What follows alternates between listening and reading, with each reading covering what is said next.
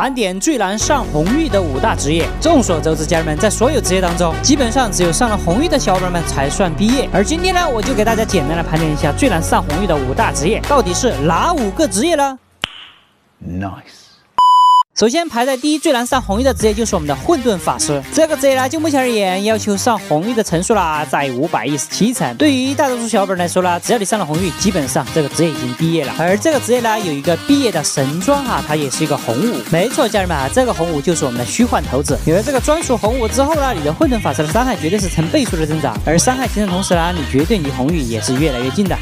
而我们的白骑士呢，则是和混沌法师并列第一。大家可以清楚看见，这红玉的段位层数呢，也是五百一十七层。因此，上红玉的难度和混沌法师并列第一，也是实至名归啊！毕竟有了好装备之后呢，才能一步一步的打上五百一十七层，这种难度还是有的哟。至于专属红武，看了榜一、榜二、榜三都没有拿出来，有一个专属红武叫做丁字锤，只要有了这个专属红武，你的那个属性全方面提升之后呢，我相信你离这个红玉层次的段位也更进一步了。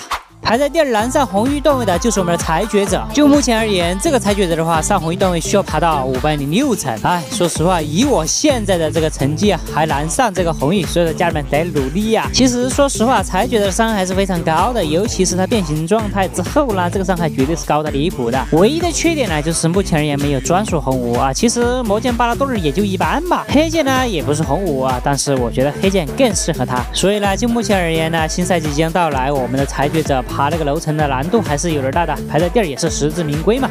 第三难上红玉段位的就是我们的风暴守卫了，目前的层数呢是四百六十二层才能上红玉。对于这个职业的伤害到底怎么样呢？我不知道，但是听粉丝说，这个风暴守卫的伤害也是非常强大的，也是非常值得每一个人去尝试的。毕竟这个上红玉的难度排在第三，四百六十二层也是值得大家去尝试的。就不知道雕哥的粉丝当中有没有已经上到这个红玉段位的风暴守卫呢？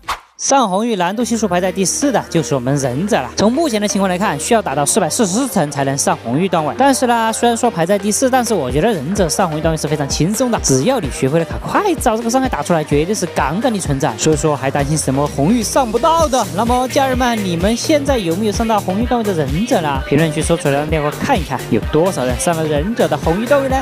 至于上红衣难度排在第五的，就是我们的自然史这个职业了。这个职业呢，作为后起之秀哈，目前的红衣层次需要四百四十层才能爬上去，也就是说和我们的忍者排在同一个层次。不得不说，这个职业是非常强大的存在，毒素的百分比伤害绝对是杠杠的存在。反正就一句话，自然史是真的值得大家去玩的。只要你毕业了，我相信这个伤害是绝对没问题的。因此，家人们上红衣的难度排名已经出来了。而最后问大家一个问题，就不知道你们现在玩的是哪个职业呢？欢迎在评论区说出来，来让杰哥看看有谁和我玩的一样是裁决者呢？